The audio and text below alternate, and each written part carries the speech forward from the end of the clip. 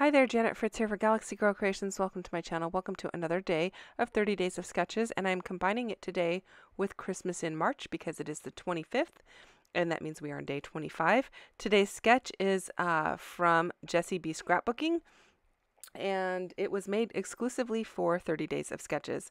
So I'm starting out with this uh, large background stamp from Hero Arts, and um, I'm using my Versamark ink pad and I'm just making sure I get it well and covered. And then I'm going to stick it down on my paper and I am using my brayer to roll it on. Um, I also do have a an acrylic plate underneath my paper there to make sure everything's nice and flat um, in case you're wondering what that kind of bluish outline is. And then I'm just using some white embossing powder to go over the stamp and then I'm going to heat it up and emboss it so that I can use it as a resist. And this is going into my small um, Christmas album. So it is approximately seven and a half by eight and a half. And I think I must be on a Zoom call while I'm doing this because I just showed it to somebody on Zoom. Um, one of probably one of my scrappy friends. Anyway, I'm going to heat it up, make sure it is good and um, melted and I like that you can actually see it from this angle. Sometimes I don't do this over my desk because sometimes it gets the embossing powder all over and I have other things on my desk, but in this case my desk was nice and cleaned off, so it worked fine. And then I am just going to use some Distress Oxide Spray in Festive Berry, and I'm going to go ahead and uh, use the packaging technique to apply it. I really like the way that this looks, uh, but I do decide to go ahead and cut everything down and um, mount it onto another piece of paper, which is okay. I mean, it still looks good at the end of the day, but I really liked the way it looked right here. I don't know what possessed me to cut it down, but um, I think following the sketch possessed me too, because in the sketch, it does have those hexagons in the middle on a smaller uh, scale and then it's all bordered by a couple of sheets of paper is what it looks like. Um, so that's what I decided to go ahead and do. I'm going to mount it onto a different piece of paper, but you can see there it kind of cut off the edges. Um, I am just using that stamp as my hexagon piece and it, I'm happy with it. I'm happy with the way that it came out, but um, I was trying, what I'm trying to do is show you a few different ways to use hexagons. If you haven't been watching every single day uh, in 30 Days of Sketches, this time we have had four different layouts or four different sketches with hexagons on them. And so I'm trying a different application on each one of those days. So this is the last one and instead of either punching hexagons or cutting my photos into hexagons or um, whatnot, I decided to stamp some. So I'm definitely distressing up these edges. I like them a little bit on the rough side. And then I'm going to ink them up with some black. I needed something to kind of uh, bring in a darker color because I've got a lot of red going on. And in this album, I do have a lot of black accents. So I want to make sure that I carry that throughout my album. And so I thought this was a good way to do that. I just inking up the edges. It takes a little bit more time because they are distressed and it, you kind of have to work a little bit harder to get the ink to saturate into those distressed areas. But it's not bad. It's, it's not super hard or anything. It just takes a little bit more time. So I did cut the red paper down to the seven and a half by eight and a half, and then I'm going to mount this other piece onto it. And once it's distressed, I really do actually like the way it looks. When I first cut it and I was looking at it, I was like, why did I bother? Why did I cut it? It looked so good at the beginning. But um, once it was cut, distressed, and had the black ink on it, I was pretty happy with it. So I have a photo of my daughter, Noah, uh, my niece, and her daughter in their uh, at Christmas time. The two kids are in their Christmas stockings, and I have a photo from the first year they were born of them in their stockings.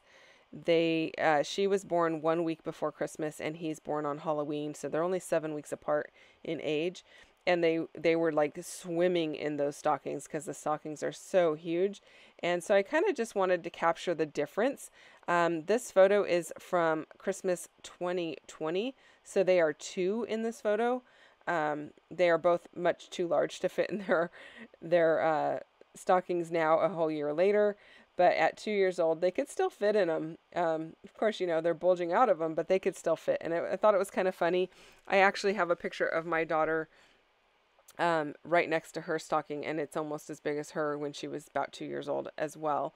So, um, I just thought it was fun. It kind of like a, a repeat of another layout from two years prior.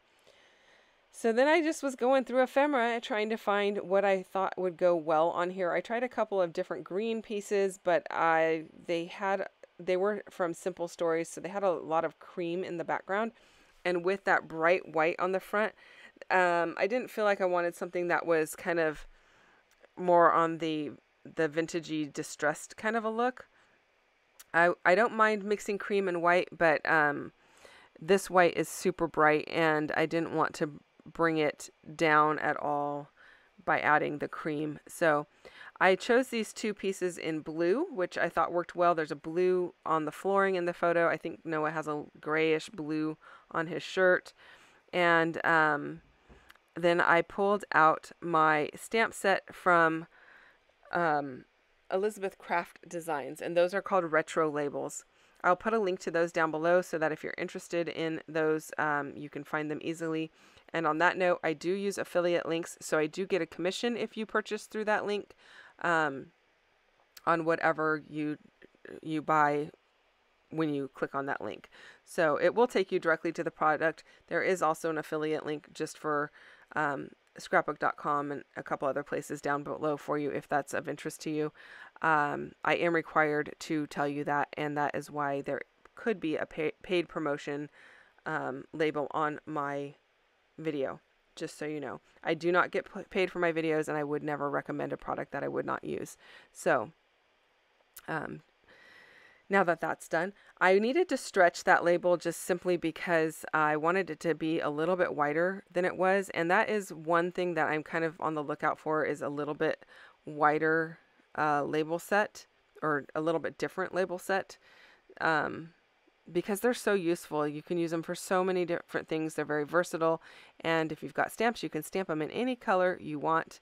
And I'm pretty happy with the way that this came out because the bold black ink on those labels just brings in more of that black um,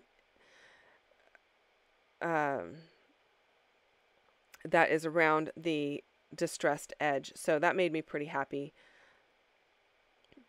And I do, I like the blue pieces as well. I did uh, ink those up with Black Distress, Distress ink just to keep with continuity throughout.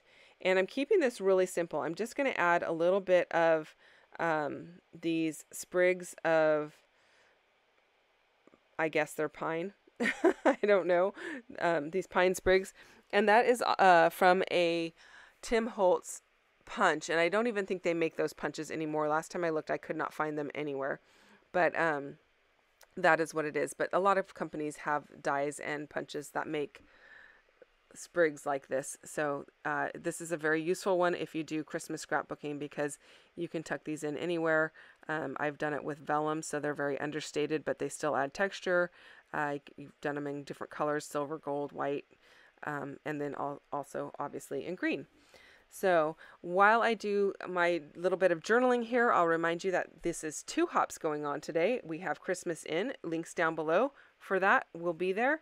And same with the, uh, the links for 30 days of sketches. So go and check out what everyone else is doing on their channel for both of these hops. Um, I'm guessing that some people may have combined them like I did, but there will be other people who did not combine them. I'm just going to finish it off with these really like light blue kind of stone blue um, enamel dots. It really matches the the color of the blue things. I was like going, what am I doing here? Um, if you, I don't know if you noticed, maybe you were yelling at me while I'm doing this layout, but the background is upside down. The only way I know that is because there are hearts on that background as well, and the hearts were upside down. And I really considered just leaving it, but it was kind of bothering me. So I pulled out my really old Creative Memories multi-purpose tool. I peeled everything off and replaced it down um, the right way so that the hearts are going the right way because uh, even though somebody else might notice, I would notice and it would bug me until the end of time. So it is now done the correct way. And the enamel dots all got replaced and repositioned and they are all adhere going to be adhered down as well. Those enamel dots are from Gina Marie Designs. Um, and I haven't been putting my, the link for her down below, but I'm going to try to remember to do that on this video. So uh, if you have questions or comments, uh, you can leave those down below. If I say that I will put a link down below and it's not there, definitely hit me up in the comments. It just means I simply forgot because sometimes I voice them and I don't get them uploaded to the next day. And then I have forgotten what I said I would link it to. so my apologies for that if that happens.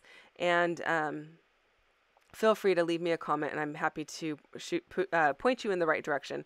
So I do answer all of my comments and I read every single one of them. I really appreciate the time that you guys take to watch my videos and to leave those comments.